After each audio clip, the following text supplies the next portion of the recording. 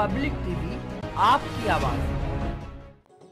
मनोकामना श्री हनुमान मंदिर में आज सुबह हवन किया गया और शाम को महिला संकीर्तन किया गया। सुबह की बेला में आयोजित हवन में मुख्य यजमान पंकज सक्सेना और मनोज कुमार धुवन रहे। तो वहीं विधि विधान के साथ पंडित हरिदत्त शास्त्री जी के द्वारा संपन्न हवन कराया गया। सर्वप्रथम माता रानी से प्रार्थना करके दीप प्रज्वलित किए गए तो वहीं विधि विधान पूर्वक संपूर्ण हवन हुआ। पूर्ण आहूति के बाद आरती की गई और माता रानी के सातवें स्वरूप का सभी के सामने वर्णन किया गया।